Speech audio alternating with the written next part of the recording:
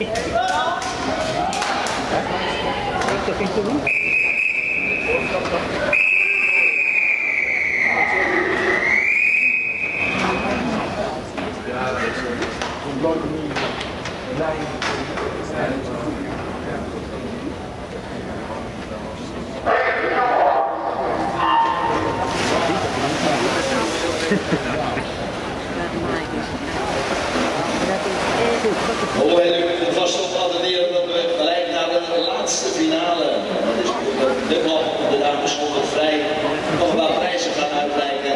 Dat is voor de beste Paralympische dame en herenprestatie, punten en, dames en heren, honoreren het beste talent hier in Amsterdam. Zowel bij de jeugd, bij de dames als bij de jongens. Dan na afloop van de laatste finale. Nu gaan we kijken naar de Golden Brug. Aan de leiding Bas Muurkamp. 2796 en komt naar Amsterdam. De op de 50 en de 100 school. Maakt het helemaal aan tussen die gele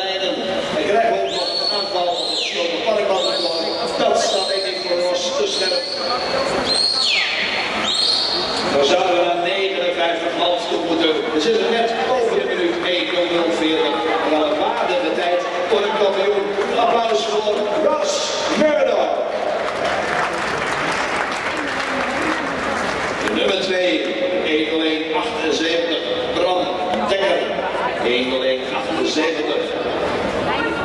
Daarmee zit Bram 17e boven de intijd voor het EK in Berlijn volgend jaar. En krijgt hij straks, nou straks, in april 2014 nog een herkansing bij de Swim.